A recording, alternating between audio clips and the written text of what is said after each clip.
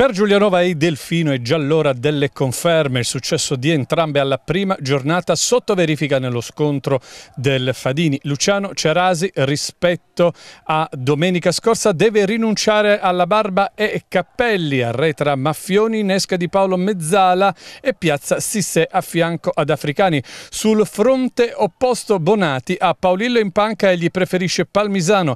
In avanti Gobbo, Massa e di Giovacchino a servizio di Petra Rulli. Rulo con il supporto tecnico dell'infaticabile Maria Carannante. Andiamo agli highlights, inizio che vede i padroni di casa farsi subito pericolosi. L'intervento di calore sul tiro sotto misura di Persiani è assolutamente risolutivo. Ancora Giulianova al nono con Di Paolo oggi esordiente nel torneo che prova il destro dalla distanza, lontana dallo specchio della porta alta sopra la traversa. Poi il Delfino prende in mano le redini del gioco per tutti i tratti della fase centrale del primo tempo. Al ventottesimo iniziativa isolata da parte di Persiani che cerca la conclusione orizzontalmente, sfera che attraverso tutto lo specchio e va in out di fondo.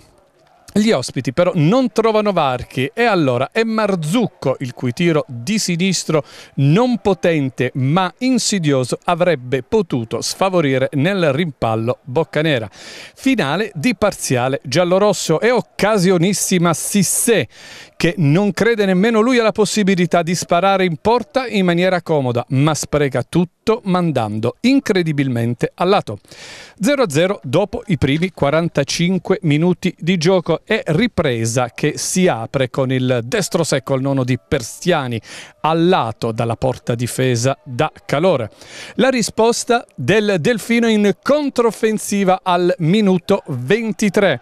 Gobbo per Petarullo che prova il tiro a giro senza peraltro efficacia. Giulianova sicuramente più offensivo, che trova le giuste misure tra le linee, mancata nella prima frazione di gioco ed interessato alla ricerca del vantaggio nonostante i cambi e l'innesto di Africani, però non si trova la giocata giusta. Delfino attentissimo, sicuramente meglio nel primo tempo, più sotto minuto dopo.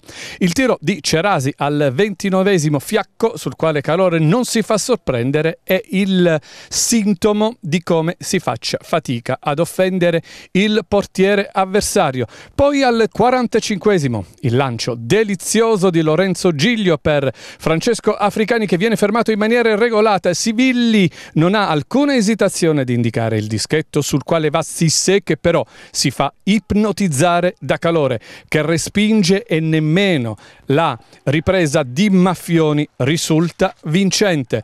Dopo Vasto ancora un errore dal dischetto per il Giulianova, ma stavolta costa tre punti e così il Delfino sentitamente ringrazia.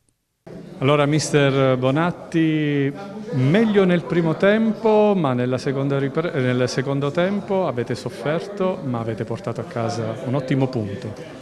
Sì, sono d'accordo. Il secondo tempo eh, abbiamo subito tantissimo Giulianova, i cambi e la nuova freschezza che ha messo il mister in, in, eh, in squadra. Noi li abbiamo un po' ritardati i cambi perché poi l'ultimo quarto d'ora, 20 minuti, le partite si decidono e quindi eravamo forse meglio gli ultimi 10 minuti prima dell'episodio del rigore che è un episodio un po' a sé stante perché la partita era praticamente finita eh, e loro se avessero vinto non avrebbero rubato nulla. Noi il primo tempo probabilmente se, se azzecchiamo un paio di, di, finalizzazioni, di rifiniture, probabilmente possiamo anche andare avanti. Però il Giulianova ha fatto una grande partita e noi per contrastarlo abbiamo, abbiamo speso tante energie, sia mentali che fisiche. E la squadra mi ha anche un po' sorpreso per la maturità, per la capacità, perché è vero che loro hanno i ragazzi, però anche noi avevamo, è, è vero che abbiamo solo 4 fuori quota in campo e abbiamo finito con 7 ma avevamo 4,99 in campo e l'unico giocatore esperienza è Marzucco col portiere e si è visto che alla fine ci ha dato una grande mano.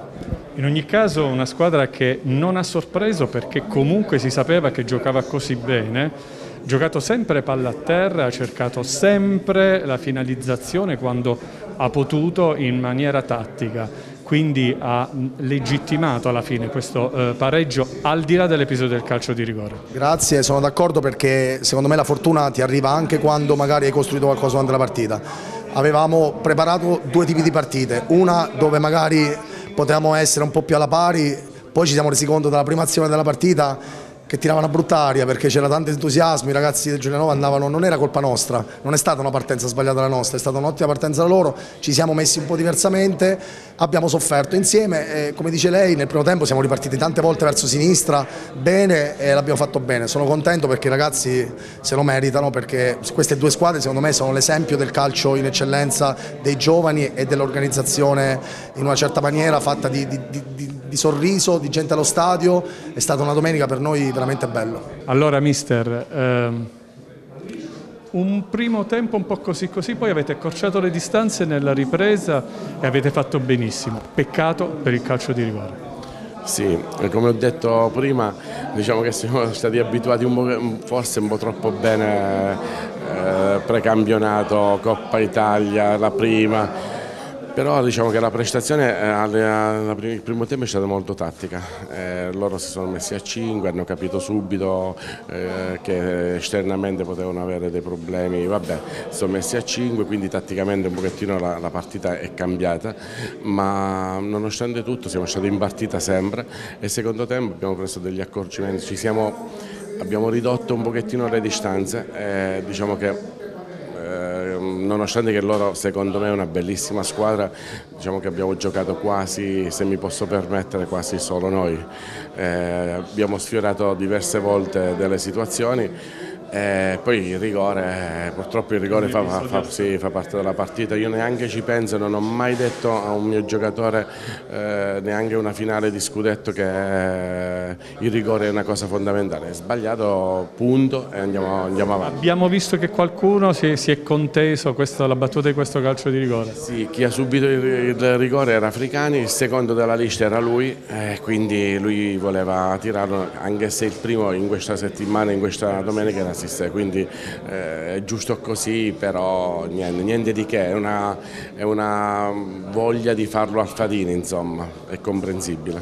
Avete affrontato una signora squadra, eh? Secondo me, io in settimana avevo chiesto a gente che diciamo, ne sa di calcio e mi hanno detto che questa è una squadra delle prime 5-6 vi posso confermare secondo me che questa è una bellissima squadra, ben messa in campo con un allenatore che è tatticamente molto preparato eppure la squadra fisicamente e tecnicamente è un'ottima squadra. Vi faccio i complimenti perché eh, ho visto veramente una bella squadra.